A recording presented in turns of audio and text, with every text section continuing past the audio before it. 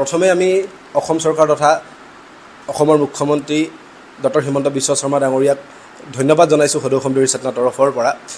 গতিকে এই উচ্ছেদ অভিযানটো এটা খিলঞ্জীয়াৰ স্বাৰ্থত আজি উচ্ছেদ অভিযান চলিছে। এই উচ্ছেদ অভিযান বিগত বহু বছৰ আগতেই কৰিব লাগিছিলে। এই দাবীসমূহ আমাৰ চি চিটোৰ উদ্যোগত বা আমাৰ দেউৰী ছাত্ৰ সন্থা হওক আমি ট্ৰাইবেল অৰ্গেনাইজেশ্যনবোৰে দাবী কৰি অহাৰ স্বত্তেও আজি শেহতীয়াভাৱে হ'লেও এই ধৰণৰ পদক্ষেপক আমি সঁচাকৈ আদৰণি জনাইছোঁ।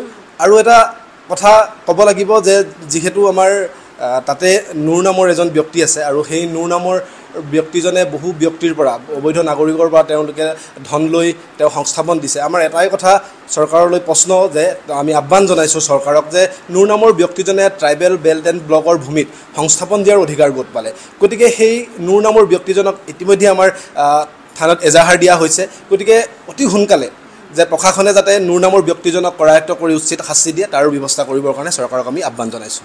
ট্ৰাইবেল বেল্টৰ কথা আপুনি উল্লেখ কৰিছে আৰু আজি আমি ৰফিকুল ইছলাম ডাঙৰীয়াৰ সৈতে কথা পাতিছিলোঁ এ আই ইউ ডি এফৰ এম এল এ।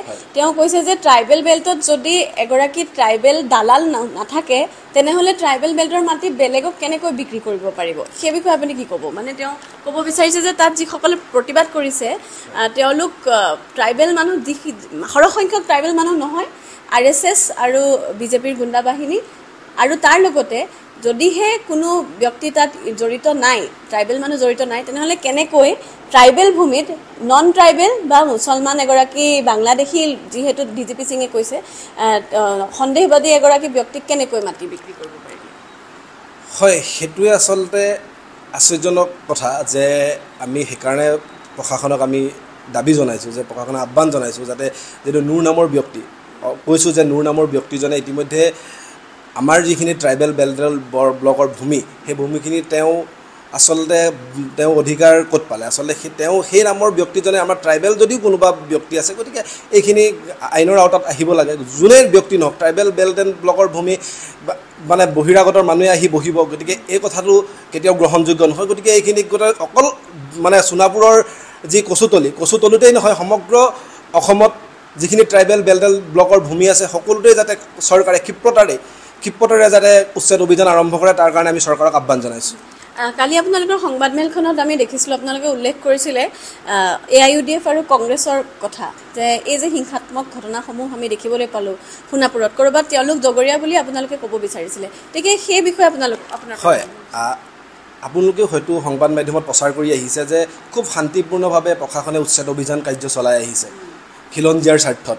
গতিকে আমি সেই ক্ষেত্ৰত আদৰণি জনাইছোঁ। গতিকে খুব শান্তিপূৰ্ণভাৱে উচ্ছেদ অভিযান চল চলি থকাৰ পাছত যে আমি আমাৰ চৌজৰ ফালৰ পৰা যিখিনি আমাৰ তাতে আমাৰ কৰ্মী আছে বা আমাৰ কৰ্মীসকলে যিটো আমাৰ জনাইছে যে ৰাতি খুব সন্ধিয়া ভাগলৈ ৰাতিৰ সন্ধিয়া কংগ্ৰেছৰ আৰু কোনোবাৰ আমচুৰ কোনোবাৰ দুই কেইজনমান ব্যক্তি প্ৰতিনিধিয়ে আহি সেই মানুহখিনিৰ লগত যে অবৈধ মানুহখিনিৰ লগত নাগৰিকৰ লগত তেওঁলোকে আলোচনা কৰিছে মিটিং কৰিছে আৰু সেই মিটিং কৰাৰ ঠিক পিছদিনাখনৰ পৰাই এটা হিংসাত্মক ঘটনা হৈছে। গতিকে এনেকুৱা ধৰণৰ কাৰ্য যে তেওঁলোকে জড়িত হৈছে বুলি আমাক চৌজৰ পৰা জনাইছে গতিকে এনেকুৱা ধৰণৰ কাৰ্যৰ পৰা তেওঁলোকক আমি আঁতৰি থাকিবলৈ আমি আহ্বান জনাইছোঁ। যিকোনো ৰাজনৈতিক দলেই নহওক গতিকে এনেকুৱা ধৰণৰ কাৰ্য হিংসাত্মক ঘটনা যাতে তেওঁলোকে উকমুকনি নিদিয়ে এইখিনি ক্ষেত্ৰত তেওঁলোকে যাতে তেওঁলোকে বিহিত ব্যৱস্থা ল'ব লাগে তেওঁলোকে এইখিনি ক্ষেত্ৰত তেওঁলোকে আঁতৰি থকাটো আমি তেওঁলোকক সকীয়াই দিছোঁ।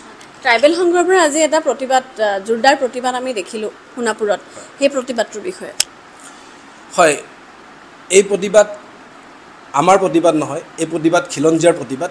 খিলঞ্জীয়াৰ মানুহৰ খিলঞ্জীয়াৰ ভূমি অধিকাৰ বহিৰাগত আহি কাঢ়িবৰ চেষ্টা কৰিব বিদেশী আহি কাঢ়িবৰ চেষ্টা কৰিব।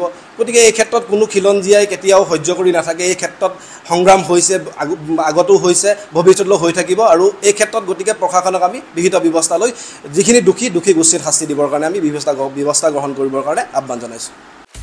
আপুনি বিচৰা বাতৰি পাব কেৱল নিউজ এইটিন এপত। নিউজ এইটিন এপ ডাউনলোড কৰিবলৈ স্কেন কৰক এই Q R code Google Play ষ্টৰতো পাব এই নিউজ এইটিন এপ